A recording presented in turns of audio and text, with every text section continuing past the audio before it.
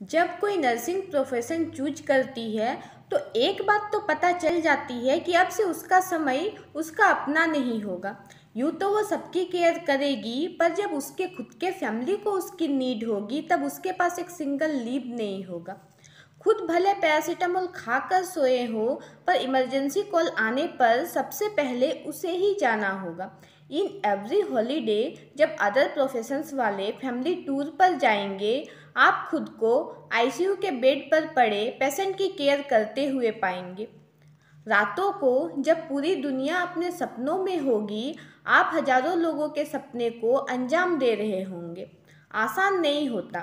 हज़ारों घरों के बुझते दियों को बचाना, उन तमाम रोते हुए चेहरों पर मुस्कान लाना, खुद की मेडिसिन मिस करके दूसरों को खाना खिलाना कुछ ठीक नहीं है जानकर भी दूसरों के सामने मुस्कुराना। Give respect to nurses and feel proud on them thank you